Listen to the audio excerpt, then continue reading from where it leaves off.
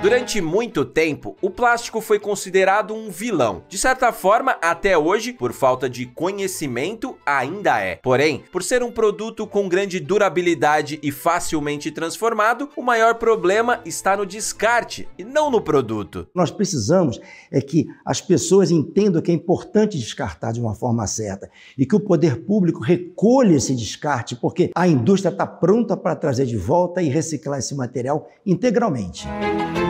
O Eduardo faz parte do time de 6.500 colaboradores da Val Group, uma empresa que auxilia a economia circular reciclando plásticos há quase meio século. Ela começou tendo usar material que estava no meio ambiente, que recolhido através de cooperativas para produzir os seus primeiros produtos, que são sacos e sacolas. Através dos processos de reciclagem, retira do meio ambiente cerca de 3,5 bilhões de garrafas PETs por ano. Com tecnologia e pioneirismo em algumas atividades, a empresa consegue levar aos clientes soluções completas. Nós produzimos a garrafa PET, nós produzimos o rótulo, nós produzimos a tampa. Para nós é muito importante chegar para um cliente e oferecer uma solução completa, totalmente completa e com materiais totalmente recicláveis. Quando se fala em sustentabilidade, é comum pensarmos em algo relacionado apenas ao meio ambiente, mas o conceito é muito mais complexo.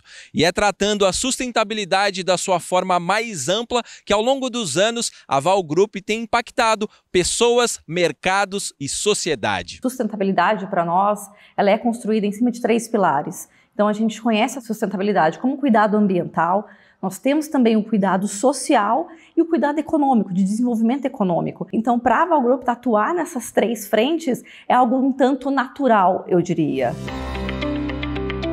A empresa apoia cerca de 45 projetos e desenvolve os próprios, como o Espaço Social Dona Emília, o Projeto Semear e o mais recente, o Recicla Mais. Que atendem crianças em situação de vulnerabilidade, atendem jovens, proporcionando primeiro emprego, proporcionando acesso ao mercado de trabalho, sempre com um olhar atento ao desenvolvimento social, como podemos impactar positivamente as pessoas onde estamos localizados.